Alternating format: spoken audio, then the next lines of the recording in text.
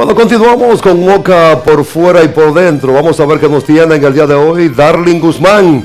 Deportes por fuera y por dentro. Buenas noches. Buenas noches. Bienvenido, ¿cómo estás? Todo bien, todo bien. Cuéntamelo. ¿Cómo está el deporte? Tranquilo, tú sabes que el deporte siempre está encendido a pesar de que hay un clima un poquito fresco y agradable, pero siempre las informaciones deportivas están al día. Muy bien, muy bien. ¿Qué pasaría? ¿Qué pasó en los Juegos de- del Padre Vicente?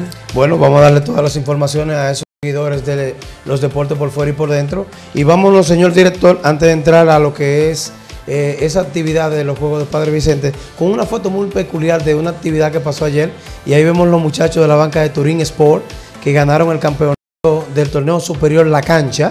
Ahí vemos en el centro a Alexis Polanco, administrador de las bancas deportivas de Turín Sport, y parte de los muchachos que fueron a celebrar ayer a la Plaza Sunrise.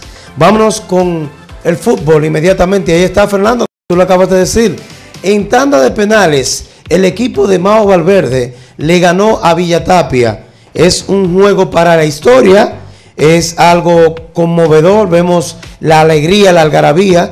Felicitamos a Nelson Peña y a los directivos de AFE por este gran trabajo que han realizado en las instalaciones del Bosco. Y ahí vemos el jugador más valioso, Wilson Espinal, de Mao Valverde, el jugador más valioso con nuestro amigo Tony Dindú, como los conocemos mucho por ahí. En el premio al jugador, al final vemos allá a Ñan y parte de los directivos, Nelson Peña también, los vemos por ahí. Y eso fue muy emocionante estar en, eh, en el Play Don Bosco viendo esta mega final donde nuevamente recibimos la calidad del deporte y el fútbol en la niñez. Seguimos con más, señor director, y vámonos con lo que pasó ayer. Lamentable noticia, Puerto Rico sigue siendo el papá nuestro en baloncesto, no hay nada que buscar. La selección dominicana U15 cayó derrotada ante Puerto Rico y teníamos que conformarnos con la medalla de plata.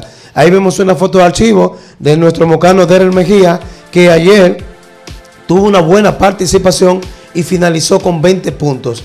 De manera que para mí ha sido el mejor jugador de la selección U15, no porque sea mocano, lo demostró, lo demostró, pero lamentablemente voy a decir esto. Todos los jugadores del Cibao para poder jugar en una selección dominicana tienen que ser mega estrella, porque hay un, un- anillo en Santo Domingo, en el Distrito Nacional, que no dejan, como dicen ellos, que los del campo progresen. Lo mismo le pasó a Mauri Filión en un momento de su carrera, cuando estaba en su momento. Este jovencito de Mejía demostró credenciales como uno de los mejores basquetbolistas de su categoría en el país y aún así venía hasta del banco. Ayer, en vista de la calidad de juego que tuvo, profesor Maíta Mercedes tuvo que ponerlo a abrir quinteto. Así que yo espero en Dios que las cosas sigan fluyendo de forma positiva para este jovencito y que tanto como él salgan más mocanos a representar nuestro país en otras elecciones.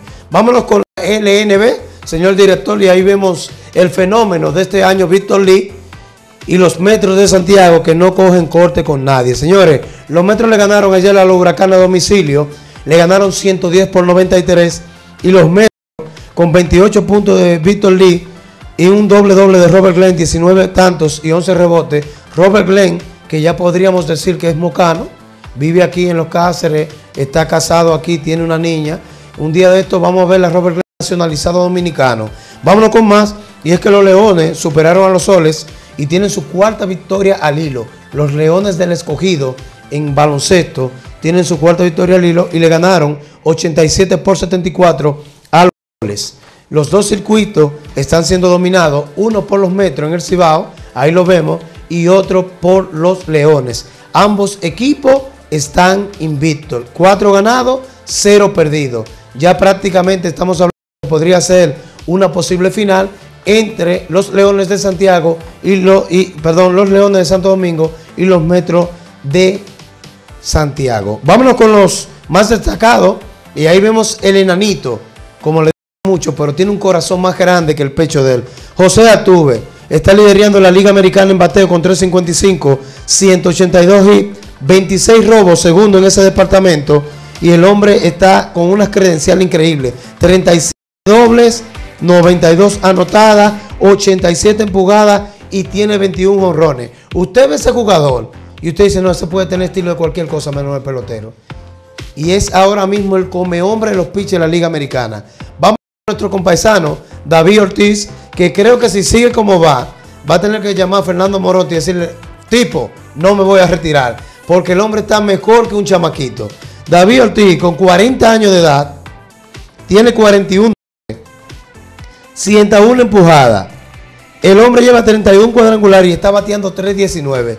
Yo creo que más de ahí no se le puede pedir a un tipo de esa edad. Si usted quiere algo de ahí, tiene que hacer un tipo, un robot que resuelva. Y aún así a la Grandes Ligas le queda un mes justo para terminar. Que podríamos hablar que el Big Papi podría terminar con 40 cuadrangulares. Y para finalizar, vámonos con el dominicano sensación, Manny Machado. Machado, tercera base, que dijo que sí, que va a participar en la República Dominicana en los Juegos en el Clásico Mundial. Y Manny Machado está bateando con un promedio sumamente alto. El hombre eh, batió esta semana 3.94 con 3 cuadrangulares, pero su original es 3.30. Tiene 23 empujadas en el mes de agosto. Y Manny Machado no tiene rival que se le pueda parar en el, en el bullpen. Esas son todas las informaciones. El próximo miércoles vendremos con más de lo que pasó en la, en la categoría U11, U12 de béisbol, que Juan López le ganó a la Liga de Ñolo de Felipe Marte, pero eso lo tenemos engavetado para el próximo miércoles. Seguimos con el tipo y no se muevan con los deportes, por fuera y por dentro. Eh, cómodo, felicidades, tremendo trabajo, Darling. La verdad que estás bastante enterado y la gente también se acaba de enterar de todo lo que está pasando en el deporte, en la República Dominicana y el mundo, y sobre todo en el caso específico de Moca. Así es, así es. Nuestro cariño para ti.